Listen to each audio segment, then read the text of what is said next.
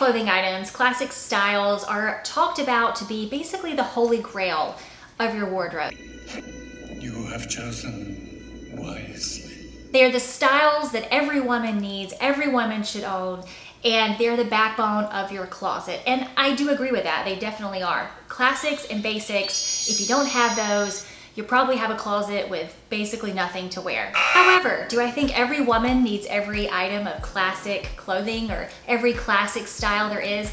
No, definitely not. And for me personally, there are some classics that I just won't buy.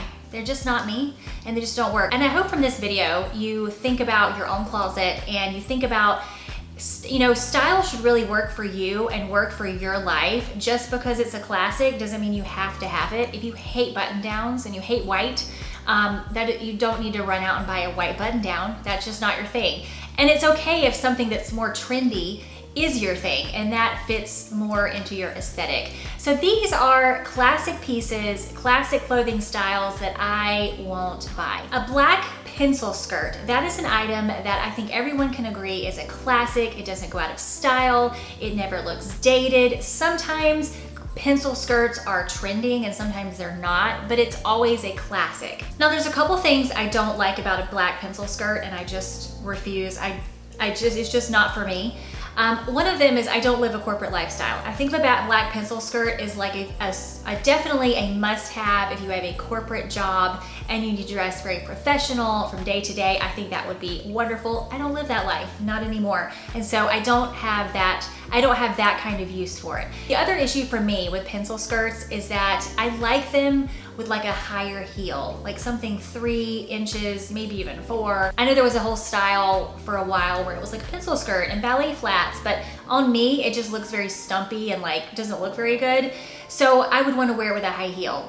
I don't really do high heels anymore. I do them for like special occasions and everything, but every day doing stuff, it's just not, it's not where I live right now. Now what I like instead, there's a couple things I like instead. One is I do like a knee length skirt if it has a slit in it. If it has a slit up my leg, I'm into that because then I feel like I can wear a lower heel, but it doesn't look so like stumpy and, and pushed together on me. I prefer a shorter skirt. I like shorter hemlines. I like them to be kind of like around my thigh or somewhere, you know, in a respectable length. And I like that because I can wear it with either either a flat or a low heel and it looks, it still looks very good. I feel like it looks better on me. This next one, I know someone's gonna be like, oh, how dare you say whatever, but listen, I'm not saying I don't like any of these things. I'm just saying they're not for me. And they might not be for you either, or they might, and either way is okay. But okay, this next one is I, you probably not gonna catch me buying the Balmain, Balmain, Balmain uh, blazer. I do feel like it is kind of a classic. I know it is, I know it was very, very on trend for a while. Like it was like a very trendy classic item, if that makes any sense. But I do feel like it always looks classic. Like I feel like if you bought it at its height, I don't feel like you're looking at it right now and being like, ew, it's so dated. Like I don't feel like it looks dated ever. I don't feel like it's, it's as big as it used to be, but it is a very beautiful blazer. Couple issues I have with that one.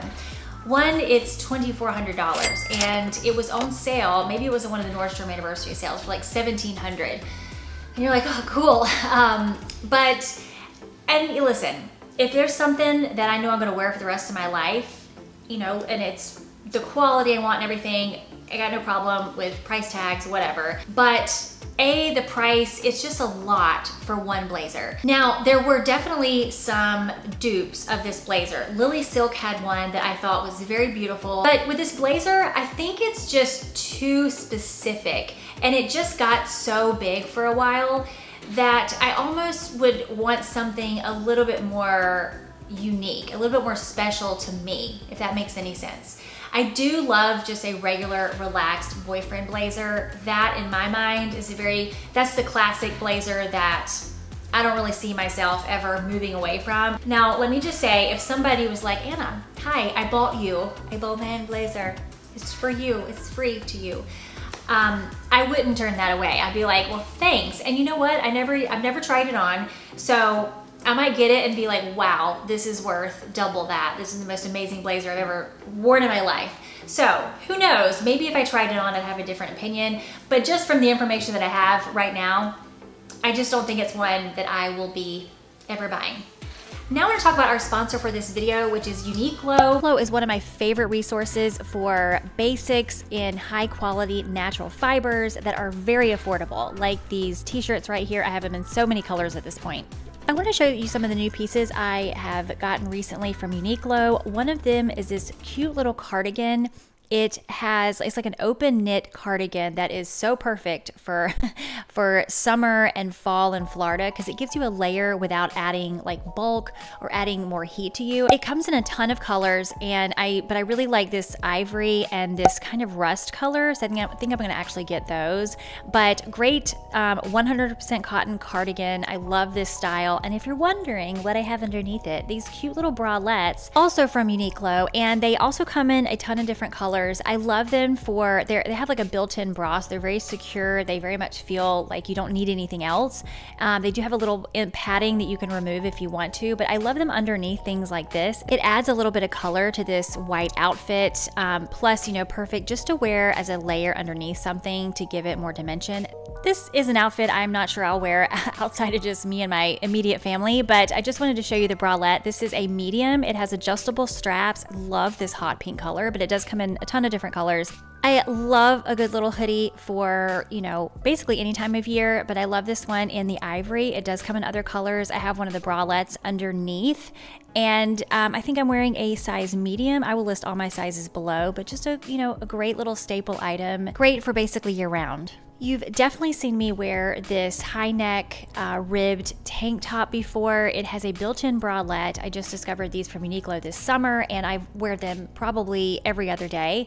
I have several colors. My green, the green is the newest color and they're just so easy to wear and so comfortable. The top I'm wearing is also from Uniqlo and I love this top. I think it's from their new collection and it's a, like a heavier cotton so perfect for going into fall um, here in Florida but I love the stripe. It comes in several different colors and it just fits so great. I will link everything I'm wearing in the video in the description box if you want to check them out. And let's continue.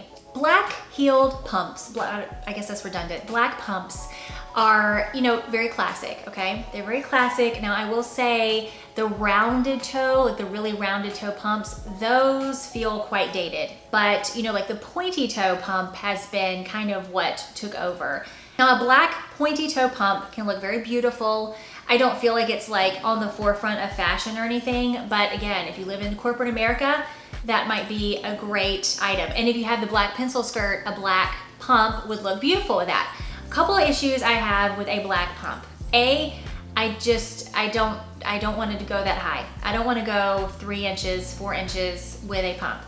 Two, um, black closed toe uh, heels, they, I did just really, I don't like the way they look on me. I, I feel like with my aesthetic right now is a very relaxed, like I try to be more effortless, you know, just as the way my lifestyle is right now. And so to have all that and you come down and boom, there's this black shoe, it just looks very harsh to me and the way that I like my outfit to look. Now instead of that, I, like I said, I like nude. I like nude pumps or, you know, nude heels. But I also like black slingbacks. I've really been loving the black slingbacks. They have more of a kitten heel, more like a one or two inch heel. I also feel like they're more current. I feel like they're more on trend and just they feel more current than a traditional black pump. Not that that's a reason why you should buy them, but I just, I've been really loving a slingback. I did find a slingback um, when I was shopping in Nordstrom at the anniversary sale, this was not part of the sale, but it's a a shoe by Naturalizer, which I have not worn a shoe by Naturalizer in a hot minute, but they have these really great slingback pointy toe um, shoes that are beautiful and they actually are very comfortable. I was shocked. I'm, I walked all over the store in these. I'm like, there's no way these can be that comfortable. They're very comfortable and they do come in black. I loved them in nude. I got them in nude, but they do come in black. So if that is something you're looking for, I would definitely check out these Naturalizer black slingbacks. This next one could be argued that it's not a classic, but I just, I kind of feel like it is because from forever that I can remember, um, I mean 20 years even, a large like, you know, logo tote has been just it's it's never been out of style. It's it's it's, it's kind of classic. The Louis Vuitton logo large totes I mean, those were huge for a long time and then they were just kind of classic. They're just something that I feel like has been a staple in a lot of women's wardrobes and not necessarily Louis Vuitton, but just like the big tote, probably got a logo on it, Michael Kors or some kind of name brand on that tote. Couple issues I got with that one, okay? Um, one is I'm not going to do the large tote, okay? I just, I feel very strongly about this. I don't need to be carrying around a whole bunch of crap because let me just tell you, if I have a large tote, I will fill that thing up okay? It will not be all neatly organized and just have like a couple tampons and like a little small wallet and then that's it. No, I will be putting water bottles in there, um, snacks in case I get hungry. I got dental floss. I'll have, you know, a toothbrush because you never know. Yeah, I'll, I will put all kinds of things in there. That thing will be so heavy that I'll start looking like this because it will just weigh my shoulder down. So that's one, okay? That's one. Two is the big logos I just, I like, I don't mind some logos, okay? Like logos are fine and, and, sometimes I just feel like they're very tastefully done and everything, but I just don't want it all over this the thing. Now what I'll buy instead are non-logo smaller totes. Now, the quiet luxury thing is very much taken over and it's such a big trend right now and I really think this is like a very big trend like you will see the next few years so much less logo stuff than we saw before and it'll be more like just subtle, subtle luxury. And um, there's a brand called Polène. I think it's a French brand and very high quality leather handbags. I went to their store when I was in New York. Beautiful, sleek, leather handbags and you really only know that it's Polène if you know Polène and they're like I don't know, a fourth of the price of like a Gucci bag or something that's super designer with all the logos. But I love that. I love that look. I love just like a sleek, minimalist kind of handbag look right now. Unless, you know, maybe I got something fancy to go to, but that's kind of what I'm into right now. Another classic that I just won't buy anymore, and it's more like a print, but it's plaid. I feel like plaid is very classic. But every time I get something plaid, I love it. Like I'll be like, oh, that's so cute. And you know, I'll like it enough to where I'm blinded by what it actually looks like on me. And I'm like, but I love the print. Oh my God, it's beautiful. And I'll bring it home and then I just, it just kind of sits in my closet. It's just, they just never look right on me. Now what I do like, and it is still plaid, are the larger plaids. I actually just bought a large, it's like a very large plaid print by from Nordstrom anniversary sale. I will show it to you. And I love this one. I love it on me, I love it off me, I love the top, it's so cute. I like this kind of plaid where it's a little bit more abstract. It's not quite so closed or um, busy, I guess. No plaid, I'm just, it just never really looks that great. A long cardigan, not long as in like maxi length, but just a normal, traditional, um, you know, thigh length or hip length or something cardigan, very classic. I don't think they look that great on a lot of people myself included. Some people, they look amazing. Some people, it's like, wow, you look amazing in that cardigan and you look really like sexy in the cardigan. I, that's, it doesn't, that's not me. Do I own a long, long cardigan? Yes, I do, because I bring it to like the movie theater when it's pitch black and I might be cold. so I do bring it there. But on me, they just look frumpy, they don't look good, and there's just so many other things that look so much better than a long cardigan. Instead of the long cardigan, I like short cardigans. I like the little short ones. I want, I like them that come at the waist they look a little bit more fitted. They just look a little bit more um, defined to me. So I like, I just like those better for, for myself. I think those look really cute and they can be like part of your outfit as opposed to like looking like I got cold and needed something to cover me up. Here's one that I want to like, I really do, and I just, it's just, it's just not happening and I'm just not gonna buy them anymore. But it's ballet flats. And I bought a pair last year. I found them on sale by Free People. They're really cute. They kind of started coming back and at first I was like, huh. And then I kind of got into them. I was like, you know what? I like this. But I don't find myself ever hardly grabbing these ballet flats. And if I do, it's like I'm forcing myself because I'm like, oh, I need to wear these because I have them. But I just don't like the way they look on me as much as I like some other things. And so what I like better, and you guys have seen these so much, but I love my black pointy toe flats. In the uh, fall, I was wearing these all over the place. They're so comfortable. It's by this brand, Vivaia. They made really comfortable flats. And I mean like normally flats will rip up my feet and they just fit horribly, but these fit great, even though I have a bunion. Um, they're amazing. I will link them below. But these are just amazing. On me, I just, that's kind of where I'm living. I'm not gonna buy any more ballet flats because I just don't like them as much as I do these other shoes. So those were some items that are classics, but I'm just, I'm just not, I'm just not gonna buy. A lot of this has been trial and error for me. I'm sure it will be for you too. And you know what, my style might change. In a couple years, I might be wearing plaids every single day and rocking them and they look amazing on me. Who knows? Right now, that is not the case.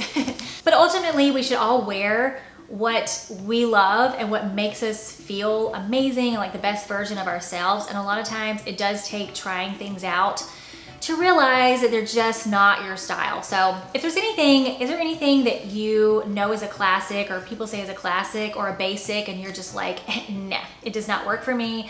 I'm not buying it. Let me know what that is. I would love to hear from you. Um, give this video a thumbs up if you liked it, a thumbs down if you didn't, and consider subscribing if you have not already. So I will see you next time.